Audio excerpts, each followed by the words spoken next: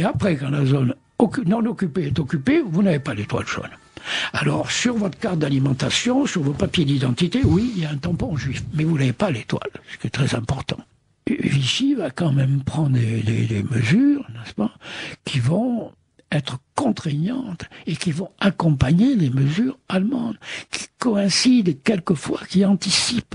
Et tout ça, tout ça, euh, véritablement, par, euh, par une entreprise de revanche de certains qui, qui, qui voyaient dans les juifs les ennemis qu'il fallait non pas tuer, non pas tuer, encore que dans la presse de zone occupée, le journal, l'hebdomadaire dont j'ai parlé dans une autre émission, dont j'ai dit qu'il était un journal abominable au pilori, ouvre en juillet ou août 1940, mais si je me trompe, je me trompe pas de 15 jours, ouvre un concours. C'était un concours réservé aux femmes. Je vais vous dire quels étaient les prix. Premier prix, trois paires de bas de soie, parce qu'il n'y avait pas de bas de soie à l'époque. Hein. On n'en trouvait pas.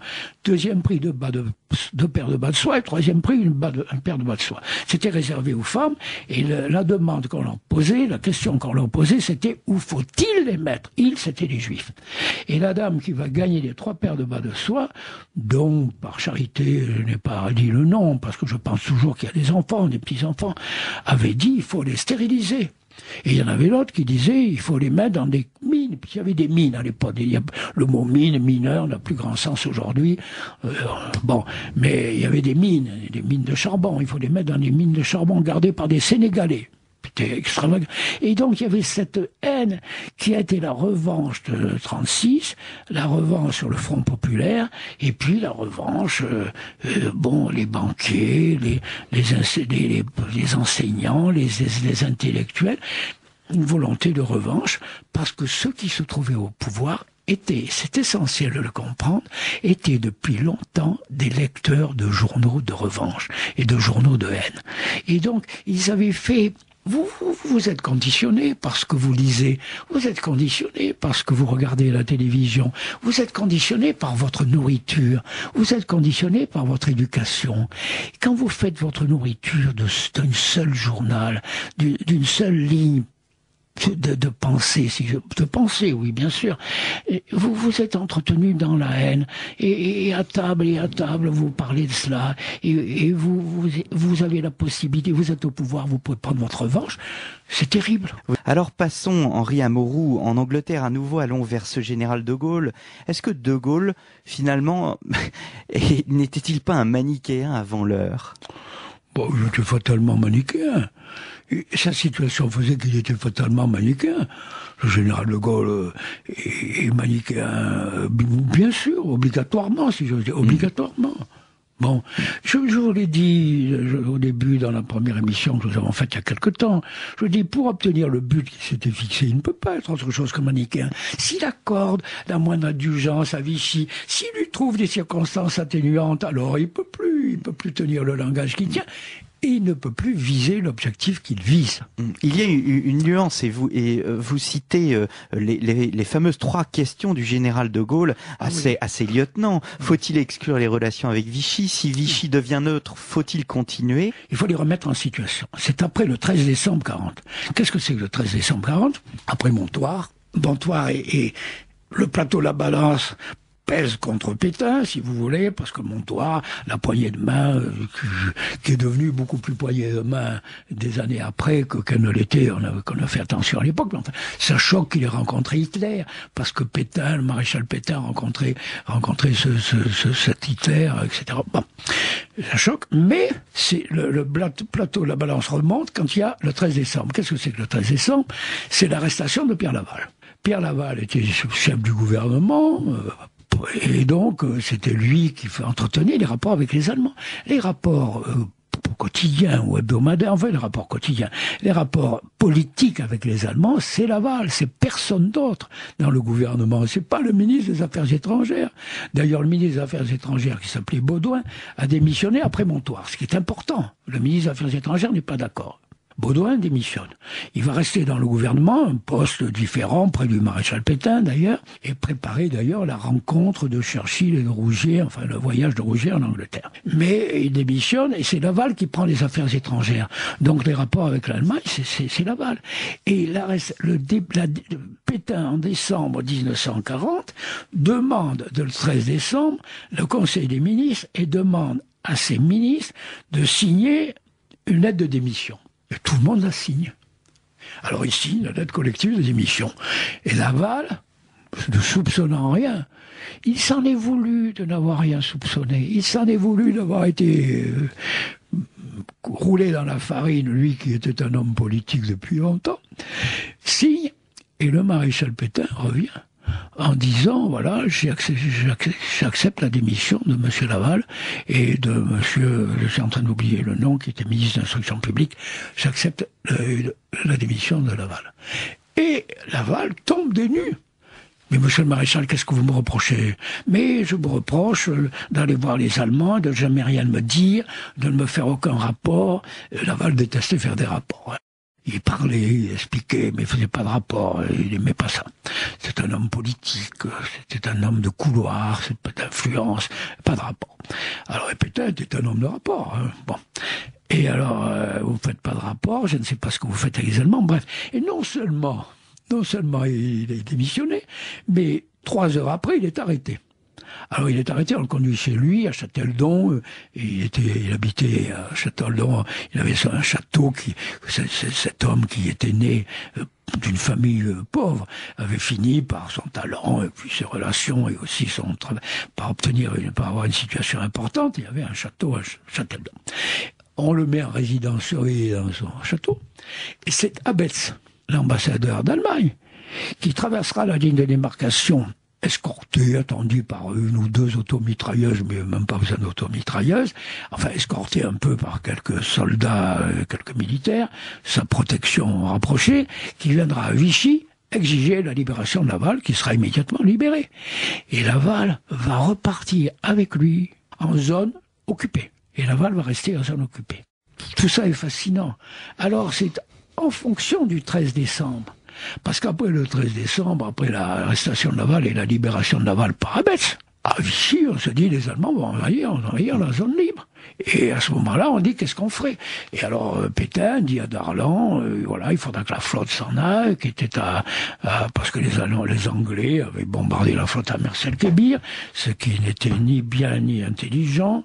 Euh, ils avaient tué 12 200 marins français beaucoup plus de marins français qui n'ont été tués que, de, de marins français ont été tués par les Allemands. Bon, ils avaient, ils avaient attaqué les Français à Dakar. Enfin bref, de Gaulle y était. Enfin bref, tout ça faisait que euh, la flotte se trouvait à Toulon.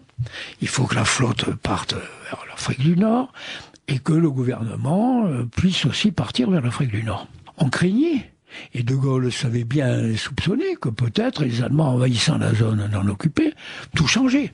Car à ce moment-là, évidemment, avec Végan qui se trouvait en Afrique du Nord, l'Afrique du Nord qui était française, il faut rappeler que la France avait le second empire colonial du monde, le premier étant l'empire anglais. Donc toute, l'Afrique était en partie avec l'Afrique équatoriale qui s'était ralliée à De Gaulle, mais l'Afrique occidentale s'était pas encore ralliée, s'était pas ralliée à De Gaulle.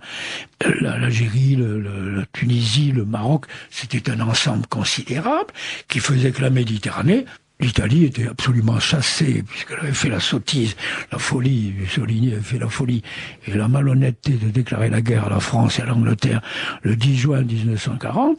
La Méditerranée était une mer franco-britannique.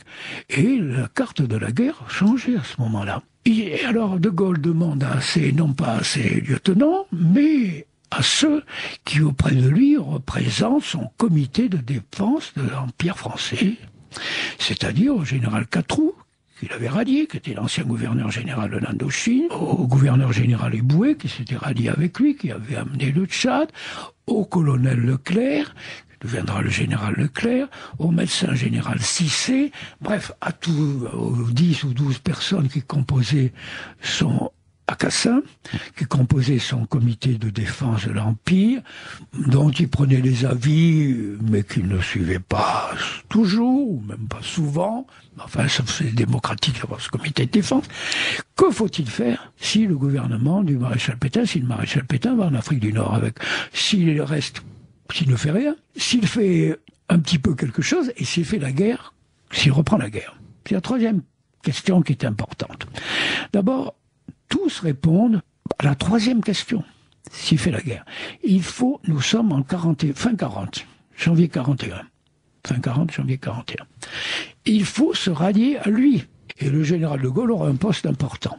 Nous sommes en janvier 41. Il y a eu Montoire, il y a eu les lois contre les francs-maçons, il y a eu les lois anti-juives. Il faut dire ça, il faut, il faut parler de ces choses. Je crois que c'est idiot de masquer la réalité. Je dis pas la vérité, la réalité. Il faut se rallier à lui. Et naturellement, il faudra que la France libre soit reconnue. Tous ces gens qui, qui, qui, qui se prononçaient, euh, je crois que presque tous avaient été condamnés à mort par contumace par Vichy, par le tribunal de Ghana. En tout cas, le général de Gaulle avait été condamné à mort, mais des autres aussi. Tous. Pourquoi parce qu'ils savent les sentiments, et c'est notamment les sentiments de l'Algérie, notamment les sentiments de l'Algérie, musulmans compris. C'est pétiniste. Et quand De Gaulle va arriver en 42 en Algérie, en 43 plutôt, en 43 en Algérie, c'est pas en 42, c'est en 43, il mettra, il n'aura pas la population avec lui. Ils étaient pétainistes, ils étaient, c'était comme ça. Alors bon, le général de Gaulle pose cette question. il est important de le rappeler parce qu'on finit par l'oublier qu'il y a une évolution. Alors, une, dernière question, euh, peut-être, Henri Amorou, vous terminez votre livre par la thèse du colonel Rémy, la thèse des, euh, comment, des, des, deux cordes à l'arc, l'arc la, la, corde Pétain et la corde euh, de Gaulle. Est-ce que c'est parce que vous, vous en faites également votre thèse? Pas du tout, c'était impossible. C'était trop tard. Rémy est un homme admirable. Rémy est un des plus grands résistants français. C'est un homme, il était monarchiste. Hein un homme qui a pris des risques, a fait prendre des risques considérables. Son réseau est un réseau l'un des plus dévastés par l'occupant, l'un des, où il y a eu beaucoup de gens qui sont morts et qui ont été des gens admirables, qui n'ont pas fait beaucoup de politique après la guerre. Lui-même n'en a pas fait. Il a écrit des livres et bon, il avait écrit des livres notamment sur la ligne de démarcation, des, dizaines de, de bouquins. Rémi est un un très grand chef de la résistance et un des fondateurs d'un des réseaux les plus importants. Et il voit les choses d'une façon un peu idéalisée. Il va euh, un jour euh, se trouver avec le général de Gaulle et avec le capitaine Guy, qui était le, je crois c'était le capitaine Guy, se trouver avec le général de Gaulle et avoir faire une conversation. Le général de Gaulle a quitté le pouvoir, c'est donc après 1946, après janvier 1946, et le général de Gaulle dit, mais c'est toujours le problème. Moi, j'admire, ou plutôt j'admire pas ces gens qui écrivent 20 ans après et qui vous disent des phrases comme s'ils les avaient enregistrées sur magnétophone là, comme ça, et qui reconstitue. Alors, Rémy dit que le général de Gaulle avait dit il qu'il aurait fallu que la France ait deux cordes, ou il faudrait que la France ait toujours deux cordes, à corde Pétain et la corde de Gaulle. Il écrit ça d'abord dans un livre sur le général de Gaulle, et il donne son texte à lire au général de Gaulle qui corrige et qui ajoute à condition que l'accord de Pétain ait été au service de la France. Enfin, le général de Gaulle modifie sa phrase. Dans un, hebdomadaire qui s'appelait Carrefour et qui avait été créé par un résistant d'ailleurs, Amaury, qui est devenu ensuite patron du Parisien libéré, euh, Grémy, qui avait retrouvé ses amours antérieur et qui était redevenu monarchiste, homme de droite, euh, trouvant que l'épuration avait été trop sévère, reprend sa théorie des deux cordes. Et naturellement, dans le journal, elle est immédiatement exploitée par les anticolistes. Et De Gaulle est furieux parce que euh, Rémy, il lui assure évidemment toujours de sa sympathie, même ça, pour, pour tout ce qu'il a fait, mais il ne veut pas que cette thèse soit accréditée. Mm. Car si cette thèse est accréditée, on ne sait pas pourquoi il y a eu un procès Pétain. Vous comprenez? Et on ne sait pas pourquoi. Alors moi, je crois, je crois évidemment avec euh, ma connaissance, mais elle est limitée comme toute connaissance, que c'était beaucoup trop tard. C'était possible en 41, malgré bien des choses. C'était possible en 41, peut-être en 42. En 43, en 44, ce n'est plus possible. En 44, ce n'est pas possible. Les passions sont trop exacerbées. Il y a eu trop de haine. Il y a eu trop de drames. Car il faut pas oublier qu'il y a eu les drames. Il y a eu la milice. Il y a eu des gens fusillés. Il y a eu des gens arrêtés parce qu'ils étaient, parce que ils étaient juifs, parce qu'ils étaient francs-maçons, parce qu'ils étaient communistes. Bon, comment voulez-vous qu'après il n'y ait pas à nouveau un esprit de revanche? Bon, c'est le coup et le contre-coup. Vous comprenez?